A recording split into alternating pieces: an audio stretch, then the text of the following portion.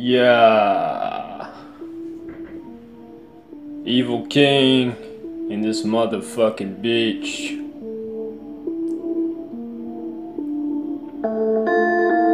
God is dead, God is dead. He can save you, he can save you. God is dead, God is dead. He can save you, he can save you. God is dead, God is dead, he can save you. No holy shit, no holy shit, just devil shit, just motherfucking torture shit. Be about that shit, be about the motherfucking devil shit. Always, motherfucking kill, kill motherfuckers up in hallways, in hallways. Yeah, I kill. Yeah, I kill you motherfuckers with the motherfucking crucifix upside down.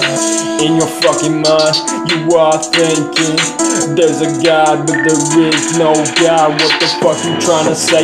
There's no God, no God. You think you think there is a God? Motherfuckers think there is a God. There is no God. I've been motherfucking devil, devil, devil with the real, real shit. Kill, kill shit. Motherfucking 666, motherfucking crucifix. Yeah, motherfucking 666, motherfucking crucifix. What the fuck you trying to say? You trying to say there's a motherfucking God up there? There ain't no fucking God up there.